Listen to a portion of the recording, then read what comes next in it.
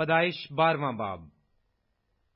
اور خداون نے ابراہم سے کہا کہ تو اپنے وطن اور اپنے ناطے داروں کے بیچ سے اور اپنے باپ کے گھر سے نکل کر اس ملک میں جا جو میں تجھے دکھاؤں گا اور میں تجھے ایک بڑی قوم بناؤں گا اور برکت دوں گا اور تیرا نام سرفراز کروں گا۔ سو تو باعث سے برکت ہو۔ جو تجھے مبارک کہیں ان کو میں برکت دوں گا اور جو تجھ پر لانت کرے، اس پر میں لانت کروں گا، اور زمین کے سب قبیلے تیرے وسیلہ سے برکت پائیں گے۔ سو ابراہم خداون کے کہنے کے مطابق چل پڑا اور لوت اس کے ساتھ گیا۔ اور ابراہم پچہتر برس کا تھا جب وہ حران سے روانہ ہوا۔ اور ابراہم نے اپنی بیوی ساری اور اپنے بھتیجے لوت کو اور سب مال کو جو انہوں نے جمع کیا تھا اور ان آدمیوں کو جو ان کو ہاران میں مل گئے تھے ساتھ لیا، اور وہ ملک کینان کو روانہ ہوئے، اور ملک کینان میں آئے اور ابراہم اس ملک میں سے گزرتا ہوا مقام سکم میں مورا کے بلوت تک پہنچا۔ اس وقت ملک میں کینانی رہتے تھے۔ تب خداون نے ابراہم کو دکھائی دے کر کہا کہ یہی ملک میں تیری نسل کو دوں گا۔ اور اس نے وہاں خداون کے لیے جو اسے دکھائی دیا تھا، ایک قربان گاہ بنائی۔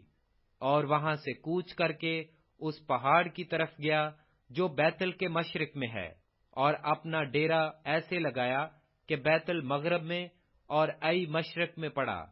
اور وہاں اس نے خداون کے لیے ایک قربان گاہ بنائی اور خداون سے دعا کی۔ اور ابراہم سفر کرتا کرتا جنوب کی طرف بڑھ گیا۔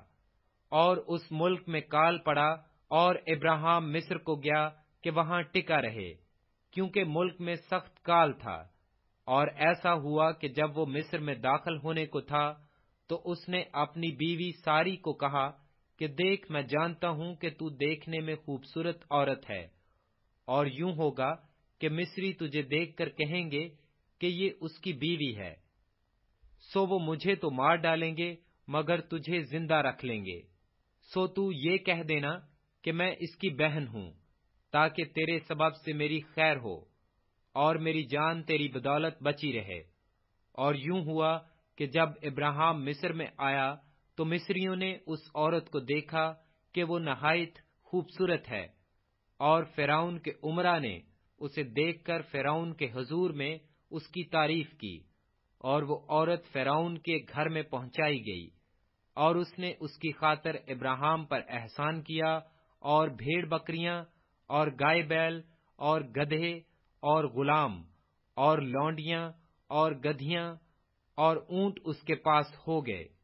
پر خدامن نے فراؤن اور اس کے خاندان پر ابراہم کی بیوی سارا کے سبب سے بڑی بڑی بلائیں نازل کیں۔ تب فرعون نے ابراہم کو بلا کر اس سے کہا کہ تو نے مجھ سے یہ کیا کیا؟ تو نے مجھے یہ کیوں نہ بتایا کہ یہ تیری بیوی ہے؟ تو نے یہ کیوں کہا کہ یہ میری بہن ہے؟ اس لیے میں نے اسے لیا کہ وہ میری بیوی بنے۔ سو دیکھ تیری بیوی حاضر ہے۔ اس کو لے اور چلا جا۔